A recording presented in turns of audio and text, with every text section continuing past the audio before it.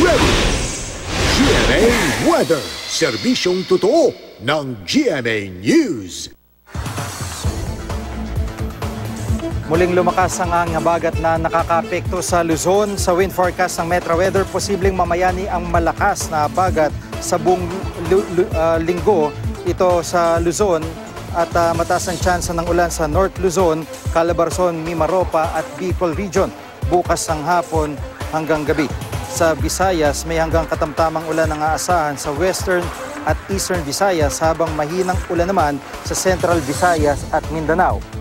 Sa Mindanao, sa hapon at gabi, mataas rin ang tsansa ng ulan, lalo na sa Zamboanga Peninsula, Soxargen, Caraga Region at Northern Mindanao, habang sa Metro Manila, posible ang thunderstorm sa mga susunod na araw.